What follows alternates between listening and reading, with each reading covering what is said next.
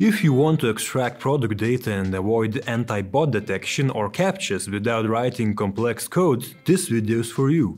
I will explain how to scrape e-commerce websites using Python and Oxylab's e-commerce scraper API. Real-time data collection at scale enables you to conduct uh, market research, monitor prices, enhance your product catalogs, generate leads and aggregate content. So let's dive in.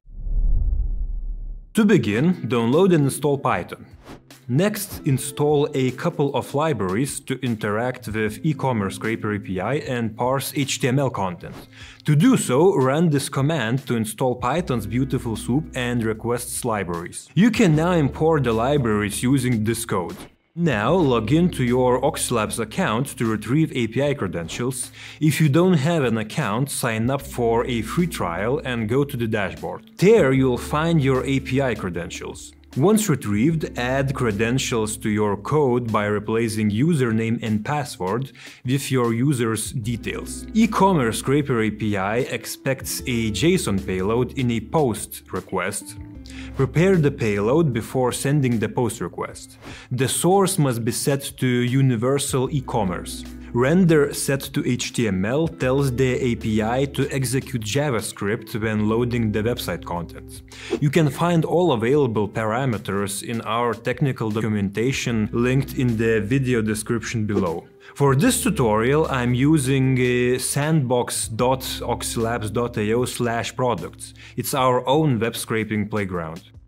Now send the payload using the requests module's post method and pass the credentials using the authorization parameter. Since the payload needs to be in JSON format, you can use the JSON parameter of the post method. If you run this code now, you should see 200 as an output of the status code. Any other value would indicate an error. If you get an error, you recheck your credentials, payload and URL. You can extract HTML content from the JSON response of the API and create a beautiful soup object named soup. Using your web browser's uh, developer tools, inspect various website elements to find the necessary CSS selectors.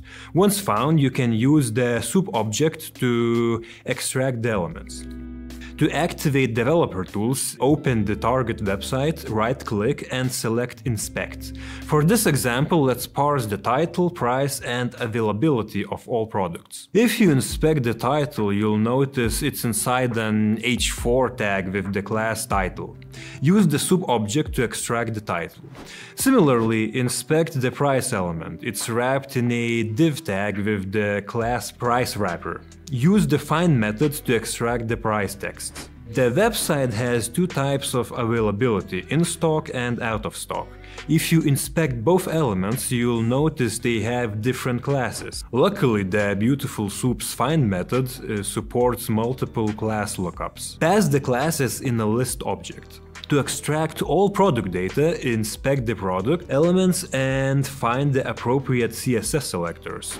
Since each product element is wrapped in a div tag with the class product card, you can loop through each element using the for loop. The data list will contain all the product data. Also, tell me about your struggles when dealing with public data collection in the comments below and consider subscribing if you would like us to address them in upcoming videos. Here's the final code. You can use it as a building block for any e-commerce target. You'll only have to replace the URL and parsing logic. And here is the output. Remember that you can try all of our Scraper APIs for free.